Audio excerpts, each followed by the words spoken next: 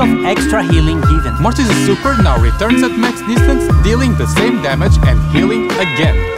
A real 2 times value bundle. Squeak's super projectiles now bounce and split one more time. Tara's super is bigger and lasts for a longer time. Nani's hypercharge makes her super peak grow in size while increasing in speed. Surge hits max level and unlocks a level 5 upgrade for the duration of his hypercharge. Surge's shots now split regardless of hitting an enemy, and the split projectiles travel further. He also gains slightly increased range.